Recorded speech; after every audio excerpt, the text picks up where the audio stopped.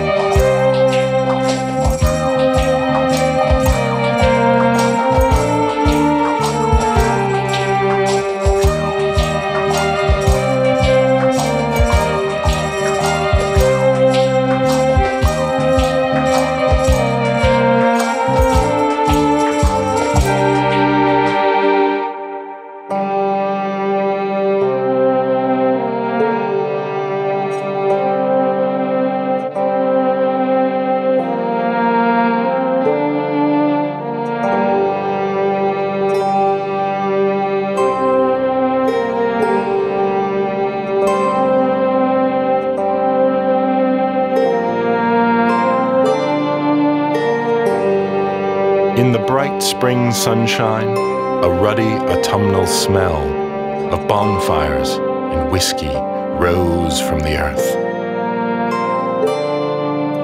The land was bathed in monochrome. A nearby cluster of barrows glowed with psychedelic sepia tones. This landscape remembers. It remembers every footfall and wheel roll and bears each of these as lines on its face.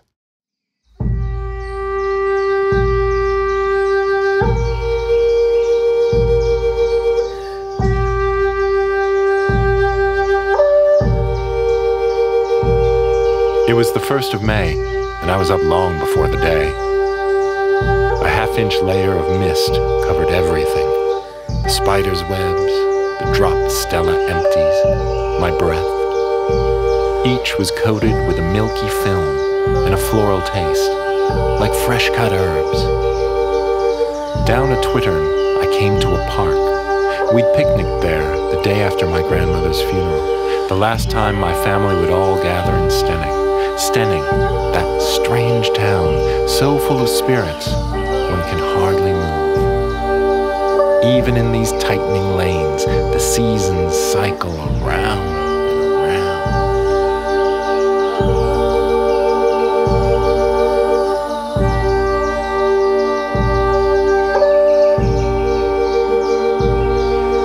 Just outside the town, at the round hill, I watched dawn choristers flock up the downs into a dull glow of rising sun. The sky a turner wash. I followed and could soon see in the distance the ring, Chanctonbury ring. It seemed to levitate between earth and sky, a holy persecution, battered and broken. Its spine snapped. Since the storm, I have to work to see Chanctonbury the way it once was, augment it with childhood memories. Fleshed out with scores of beaches in its tight circle, a flourishing island atop the stark oceanic downs. It is shattered now, but if I squint, I can still see them the ghost trees.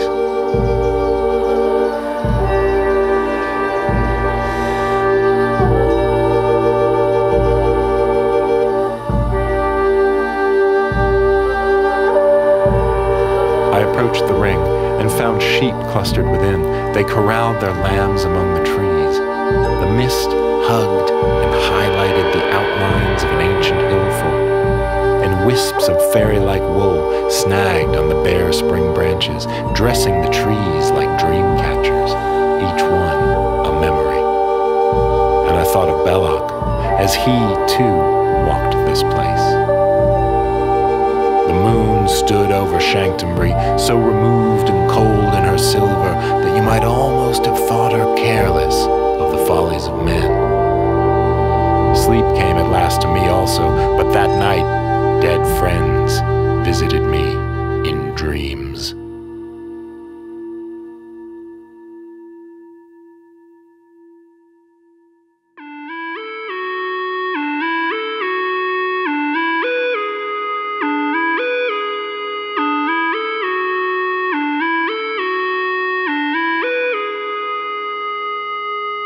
Chanctonbury Ring is the thin place on my map, that place where another world peeks through.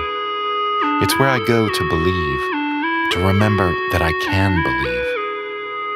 It's there that dead friends visit and dead voices gather. Memories linger and haunt like snagged wool.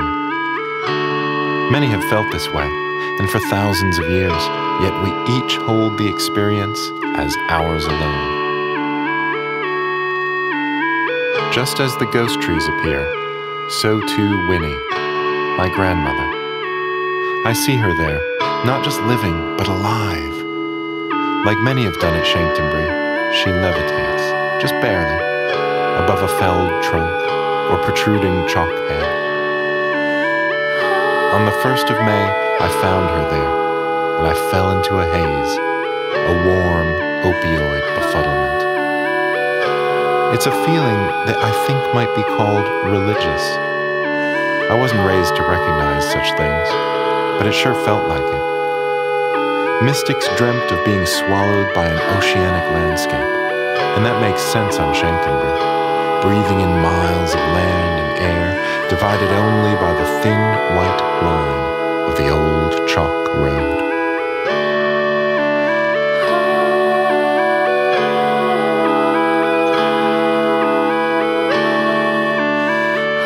People see things on that hillside. They hear things. They are indeed levitated. I may not know what it means to believe in something, but it must be a bit like this. Buzzed with a warm confusion, I saw my dead grandmother hover a half inch above a fallen tree's trunk, just for an instant, and then gone. And there, atop Chanctonbury, on the first day of May, I heard bells ring in the swaddling mist.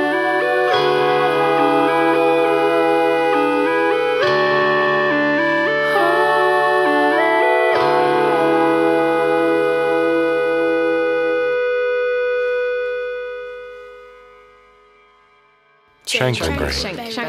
Changebury. Shankberry. Chanctonbury. Chankleberry. Changebury. Shankbury. Chanctonbury. Chankleberry. Changebury. Chankberry. Chanctonbury.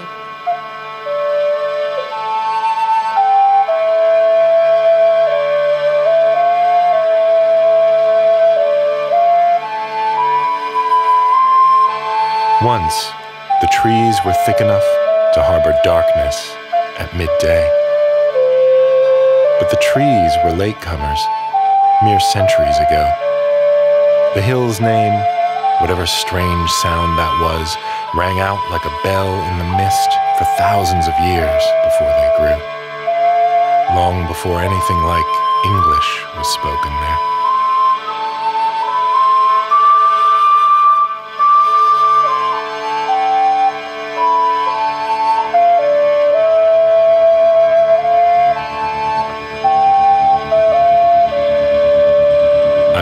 The ring. The trees a teenage boy planted in the 18th century, now thinned by the great storm. I had come to scour for a fallen tree trunk, a place I had sat alone as a child on my first visit to Chanctonbury.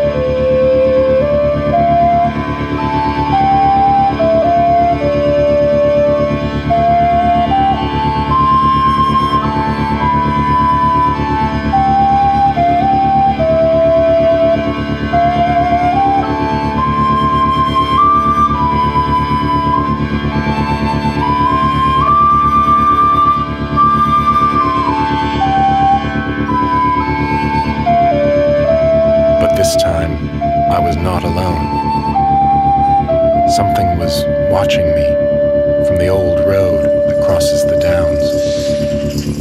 I couldn't see, but I could hear those bells. Bells like an entity passing by.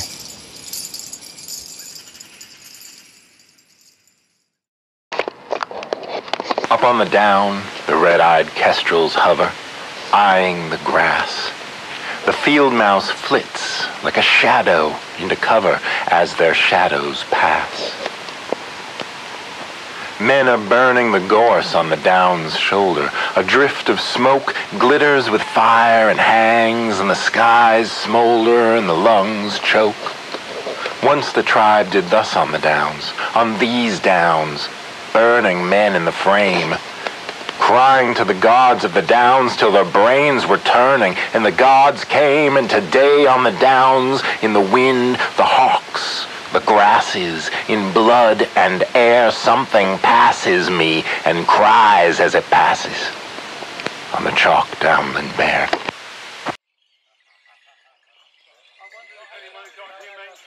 The bells grew louder, voices too.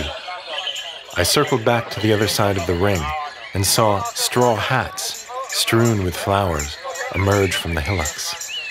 I hid, biding my time, as I watched the Morris men gather at the ring's eastern edge. All white with bright red sashes, bells sewn into their boots and trousers, hats and vests studded with buttons and spiked with feathers. They were at the ring to dance in the May, to welcome the summer atop the downs, where it might first arrive, as if sprinkled from above. There were so many of them, and so few of us, civilians, I mean, audience. It was mist raining and chilly. It was very early in the morning. Almost no one was watching. By earthly standards, not a great gig. But they began to dance, and I knew this had nothing to do with us. They stepped in the same patterns in which bearded men had stepped a century before them, maybe in the same place. Morris won't make the rains or the harvest come. No child will flourish because of this dance. God knows no fertility will be enhanced. It is a checkpoint, a diary entry written onto the earth at Chanctonbury with footsteps, like lines accrued on a face. That, that is tradition. That is its sole purpose, to be enacted, and ever so.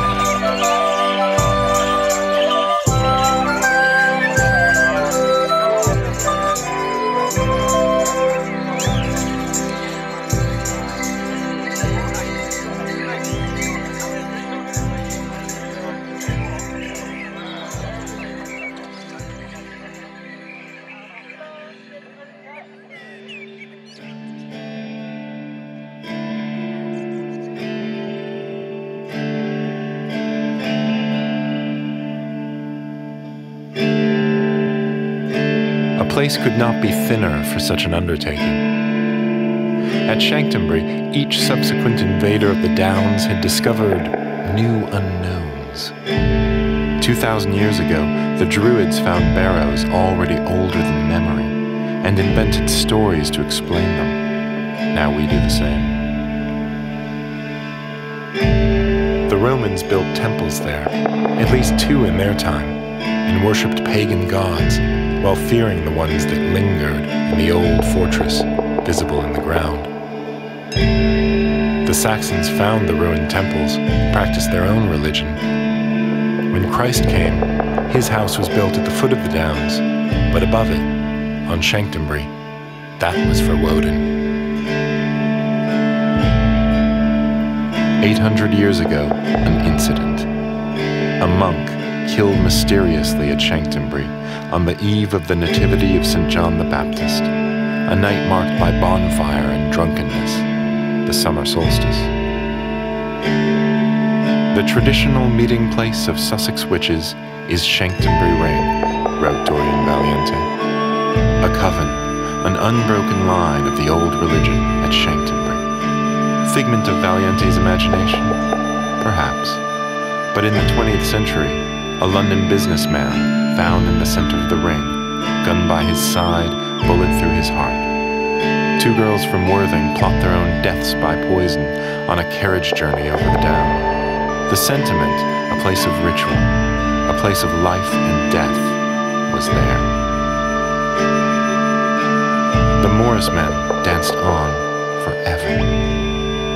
Their clashing sticks and jingling bells receded into the mist as I circled the trees until I found something familiar. There, among snagged wool and snagged mist, I put my hand on a young tree to spin myself around and stopped with a sharp breath. There she was, Winnie.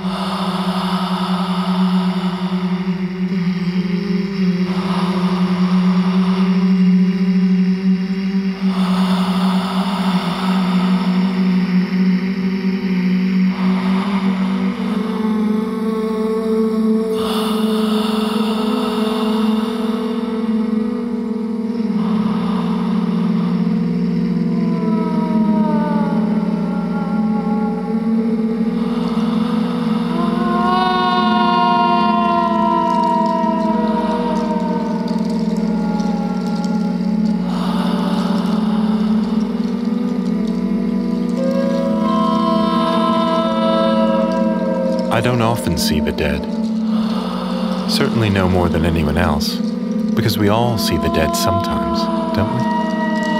Waiting on a cloud darkened bench, or passing by us on a side street, or fumbling for their keys in the hallway.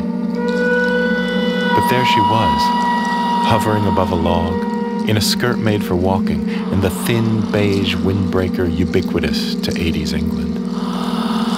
Her hair showed the first flashes of its graying corona.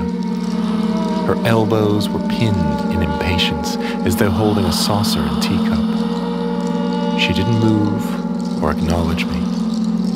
I never saw her face. And then she was gone. I can't convince you it happened. I couldn't draw a diagram or map the winds on that particular day, that particular moment but it did happen. It did.